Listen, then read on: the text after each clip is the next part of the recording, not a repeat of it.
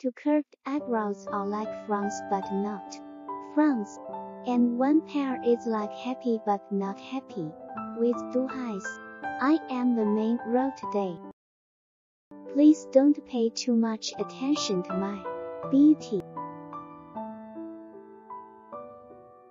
Today's focus is on clothes. My clothes are usually white, light blue, lavender and snow blue. Clothes often use patterns of plum, orchid, bamboo and chrysanthemum.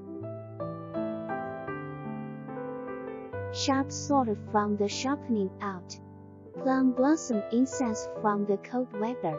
The quality that the plum blossom that the place prints on this dress represents is proud. In people's hearts, plum blossom represents the spirit of being fearless and indomitable. This dress is printed with orchids. The quality it represents is quiet.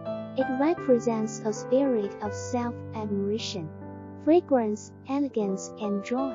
It is a virtuous person in the world.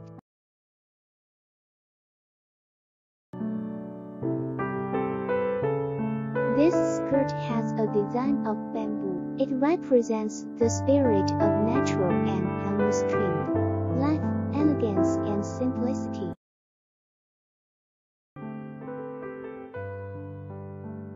The pattern on the dress is chrysanthemum. Chrysanthemum represents a maverick, not snobbery character. It's a hermit outside the world.